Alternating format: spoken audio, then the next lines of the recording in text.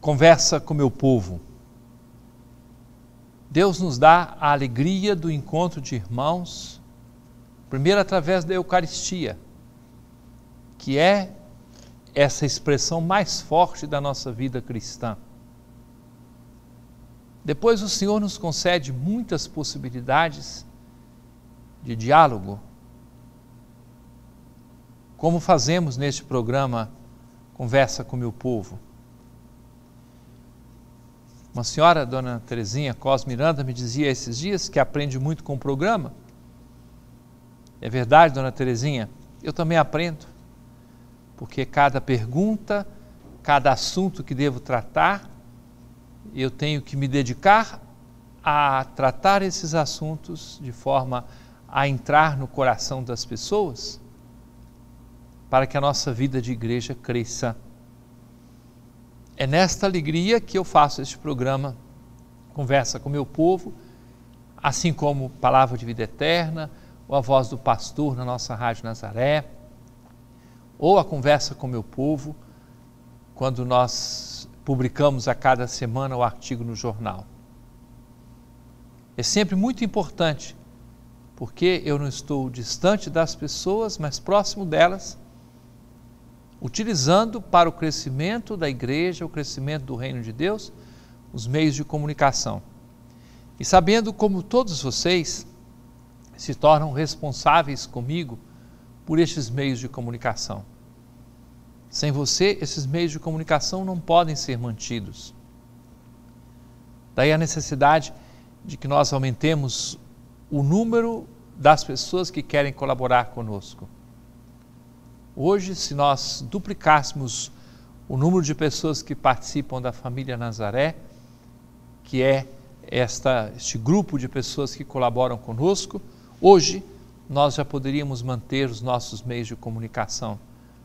Trabalhamos com meios simples, pobres, mas com muita grandeza de coração, porque você participa, porque você sente a sua responsabilidade junto conosco, você se sente convidado, convidada a participar conosco. Hoje é um dia de grande significação na igreja. É o dia de São José, patrono da Igreja Universal, São José, esposo da Virgem Maria. Durante essa semana ainda comentarei o, o brasão com os sinais próprios do Papa Francisco. E uma das coisas que aparecem no brasão dele é a figura de São José simbolizada por, por um ramo, uma, uma flor, e a estrela do outro lado, que é Nossa Senhora, mostrando duas devoções de sua vida. Hoje celebramos a figura de São José. Nesse dia, eu celebro pela manhã na paróquia São José de Queluz, à noite celebro a Santa Missa na paróquia São José, no Marizal, a missa vai ser no, Shopping Boulevard, depois tem a procissão de São José. E celebro também a Santa Missa às 10 horas de abertura do ano sabático lá na comunidade Semente do Verbo, em Icoraci.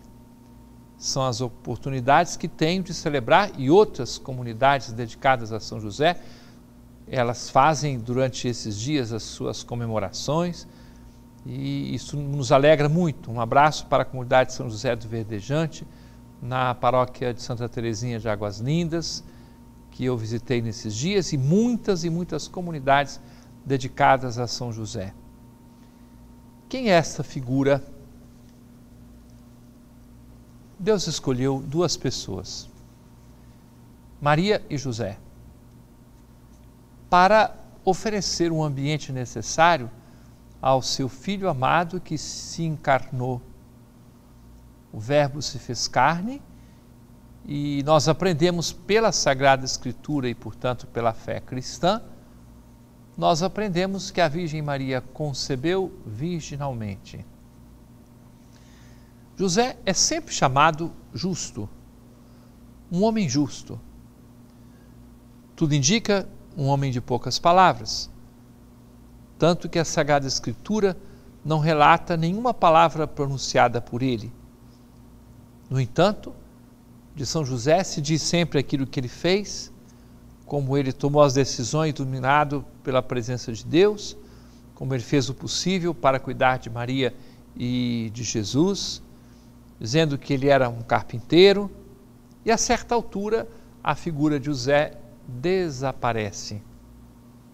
Dá para a gente entender, pelo fato de não se referir o Evangelho à figura de José na época da paixão de Jesus, por exemplo, dá para imaginar que Maria já estava viúva. José. Ele lembra muito um outro José, aquele José lá do Egito.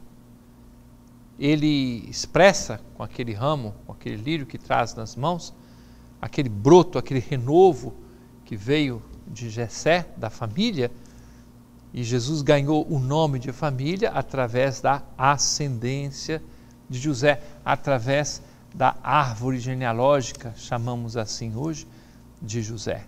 Porque ele se tornou o pai adotivo de Jesus, acolheu Jesus, cuidou de Nossa Senhora durante toda a sua existência, sua vida nessa terra.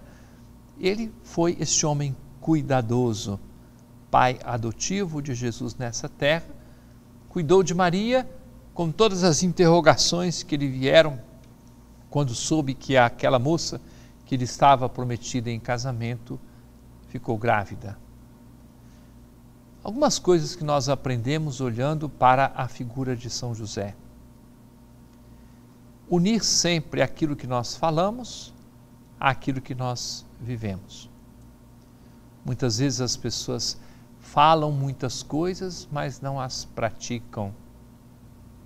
Que bom se de nós também se pudesse dizer que a nossa ação foi sempre na disposição de vivência da palavra de Deus. Ligar a nossa fé com a nossa vida. É algo fundamental em nossa existência. Depois, outra coisa: José é chamado justo não se trata apenas de praticar a virtude da justiça, dar aquilo que é de direito a cada pessoa. Não, é mais do que isso. O justo na Bíblia se opõe ao ímpio. Justo é aquela pessoa que caminha na vontade de Deus, que segue a palavra de Deus, é aquele que faz esta vontade de Deus em sua vida. Isso é que é o homem justo. Outra lição que nós podemos tirar olhando para São José é a lição do trabalho. José era carpinteiro. Dizem que quando se, diz, se fala que José era carpinteiro, naquela época a, esta figura de carpinteiro era aquele homem que sabia fazer tudo numa casa. Há profissionais, cada vez mais as pessoas são especializadas, mas eu conheci homens que eram mestres de obra, que eram capazes de fazer uma casa do alicerce até o telhado, eletricidade, hidráulica, tudo isso. Pessoas de um conhecimento prático fabuloso. Parece que São José era desse estilo de gente. Jesus Cristo aprendeu a trabalhar com ele. A lição do trabalho, a importância do trabalho. É outra realidade que nós podemos escolher olhando para a figura de São José. São José e a família. São José, pai de família, há um título todo especial, porque ele não foi o gerador da vida de Jesus, porque Maria foi concebida pela ação do Espírito Santo. Uma família peculiar. José, Maria, Jesus. Uma família que existia por causa de Deus, porque Jesus é Deus. Uma família que já foi chamada de um espelho da Santíssima Trindade aqui na terra, pela perfeição da vida deles três. José esposo, José que cuidou de Maria, que dedicou a sua vida, que a acolheu. José, pai. Pai que recebeu Jesus e tomou conta dele e o acompanhou naquilo que a gente vê no, no Evangelho de São Lucas. Jesus crescia em idade, sabedoria e graça diante de Deus e diante dos homens. Jesus aprendeu as coisas, aprendeu a conversar, a trabalhar, aprendeu a leitura da Sagrada Escritura com quem? Com José e Maria. Assim Jesus aprendeu as coisas. Outra lição que eu tiro de São José é da simplicidade. Quando há pouco tempo, com sacerdotes, diáconos e com Dom Teodoro, aqui de nossa arquidiocese, nós fomos à Terra Santa, nós visitamos ao lado da Basílica da Anunciação também uma igreja que se chama São José, dedicada a São José, onde se diz que provavelmente estava ali o lugar de trabalho de São José. Todas essas localizações na Terra Santa, elas não são é, absolutamente precisas, porque se trata de aproximações que são feitas. Mas o que impressiona é que a simplicidade de vida, e aqui eu termino a minha reflexão com você nessa solenidade de São José, gostar das coisas simples, gostar da convivência, gostar de conversar, gostar de visitar os outros, de acolher visitas, gostar de saudar as pessoas, ter boa educação. São coisas simples que um bom pai de família deixa dentro de cada um de nós como ensinamento precioso. Permaneça conosco, querido irmão, querida irmã, porque daqui a pouco continuamos a conversa com o meu povo. Conversa com o meu povo.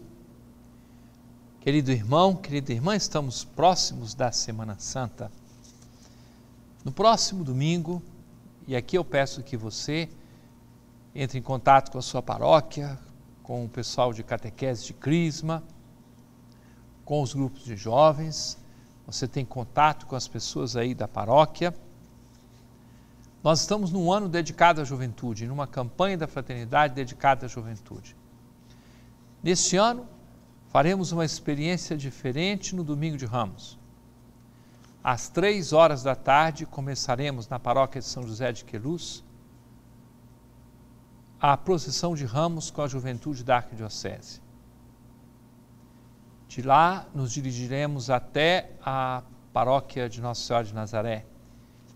E ali, na concha acústica da praça do Santuário Basílica de Nazaré, nós teremos a celebração da Santa Missa. Neste ano, o encontro meu como arcebispo com os crismandos será realizado mais adiante, numa outra data, num outro formato.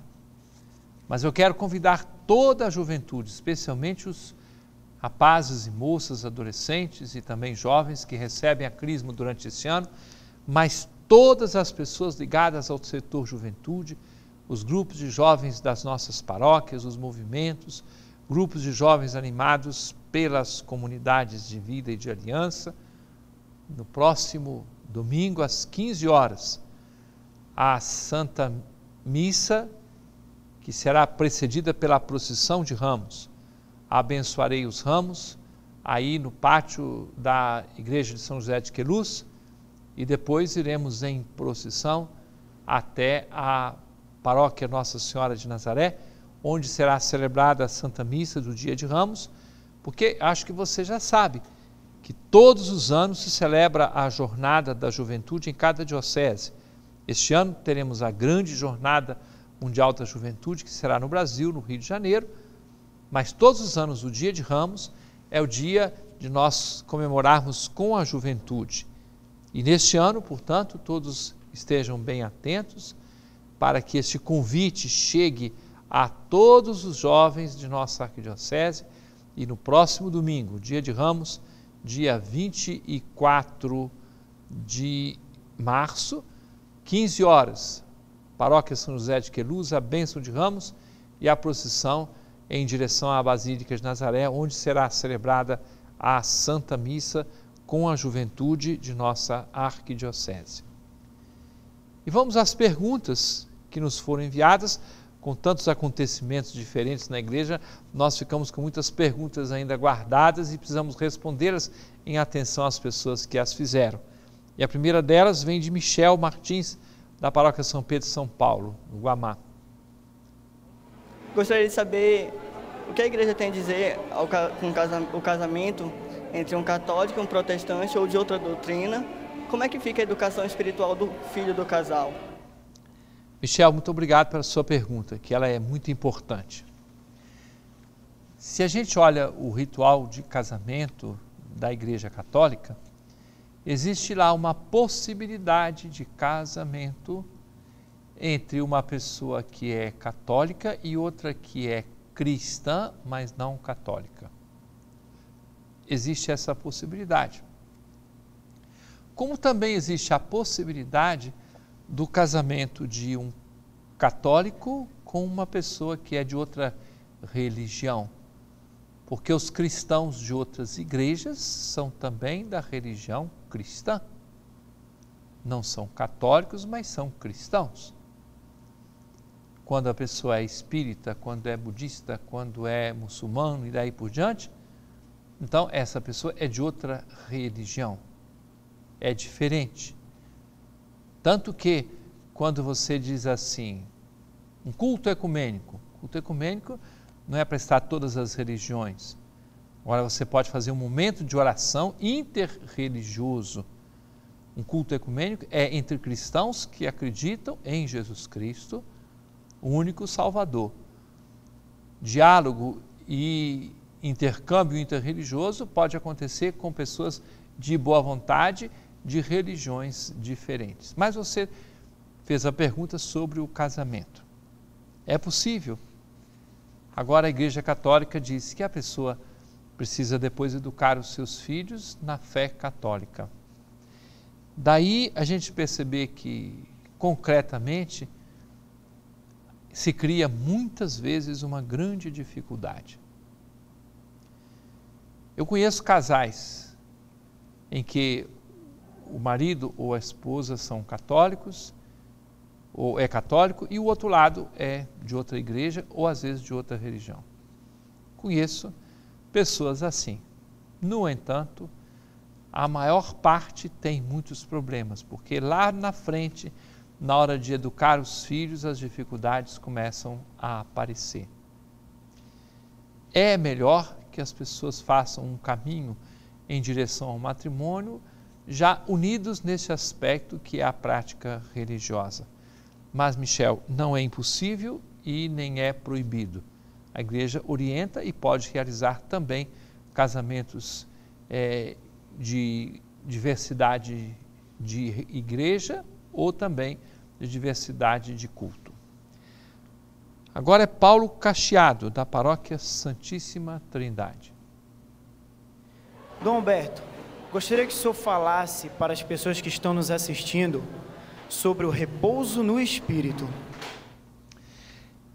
Paulo, obrigado pela sua pergunta.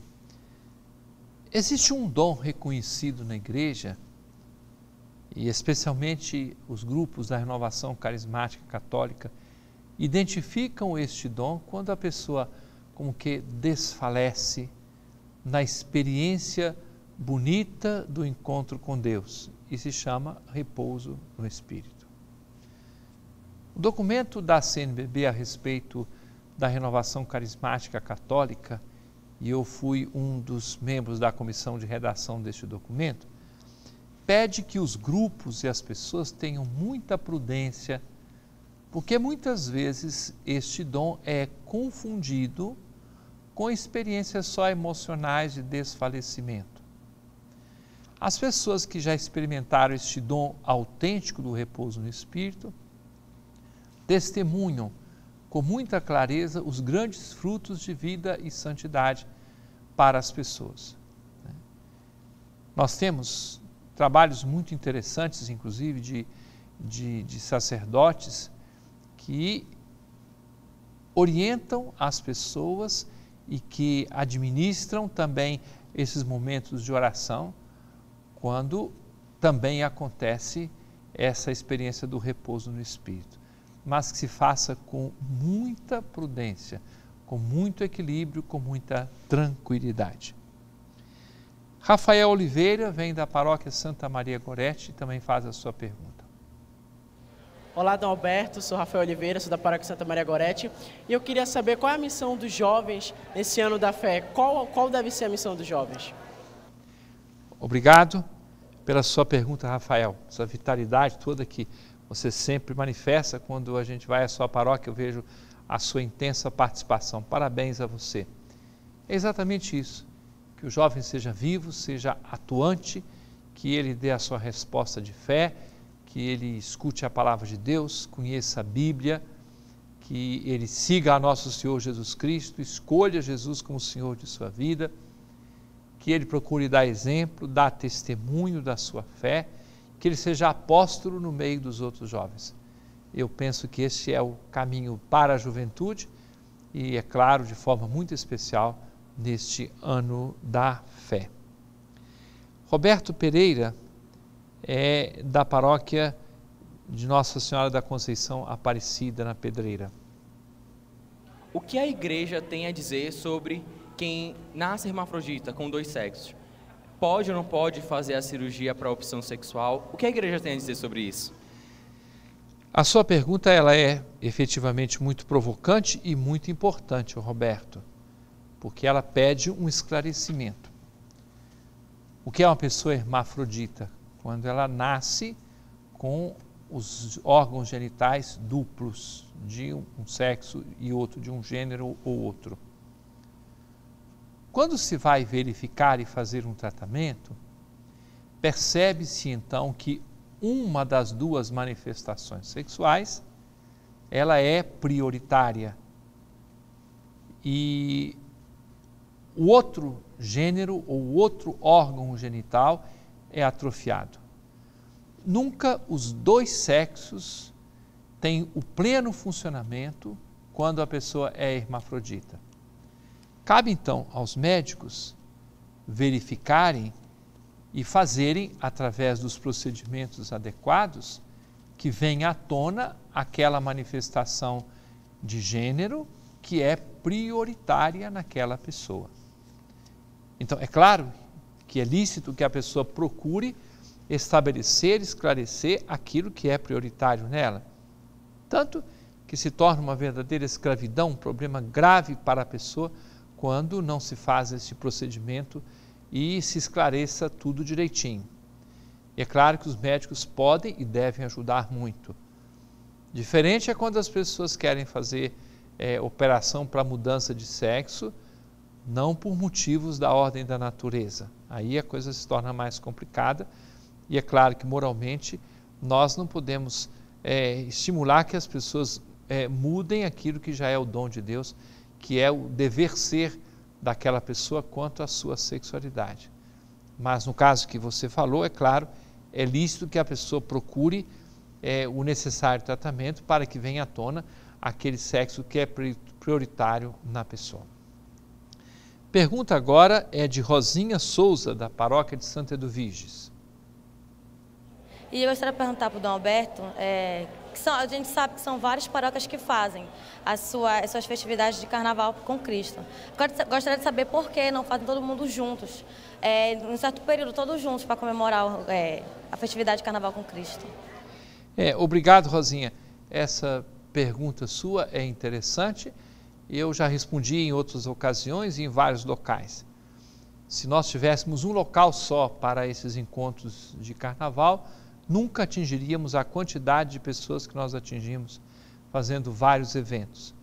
Por, por isso é também estratégico da parte da Arquidiocese realização de vários encontros para valorizar a presença e também a possibilidade de estar próximos da, da residência das pessoas.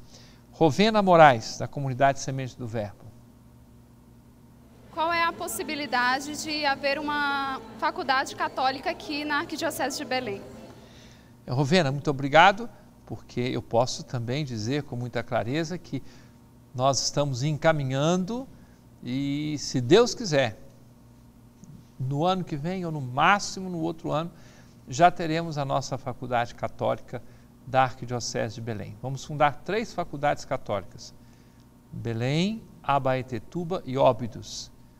E depois outras dioceses também poderão fazer o mesmo, mas já temos o projeto em encaminhamento e as notícias são muito positivas. Vai sair logo, se Deus quiser. Sandra Campelo.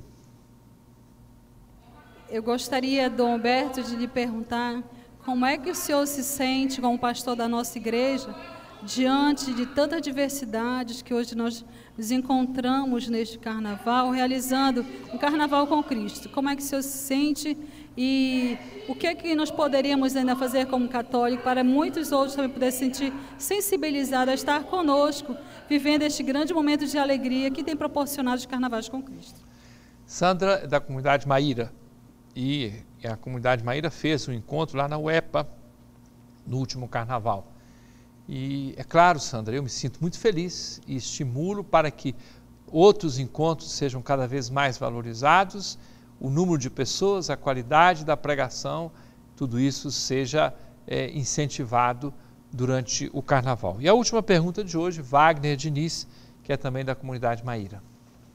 Eu queria saber o que a igreja tem para falar para os jovens sobre o aborto.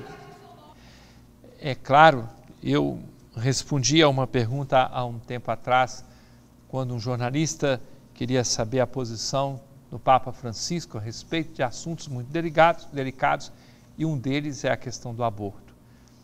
Eu disse: o Papa não vai mudar aquilo que está na Sagrada Escritura, não matar, o que o catecismo da igreja, o que o ensinamento moral da igreja fala. É claro que não se pode aprovar em hipótese alguma o aborto nós temos que ser pela vida e pela dignidade das pessoas. É a posição permanente da igreja e esta não vai mudar. Abençoe-vos o Deus Todo-Poderoso, Pai, Filho e Espírito Santo. Amém.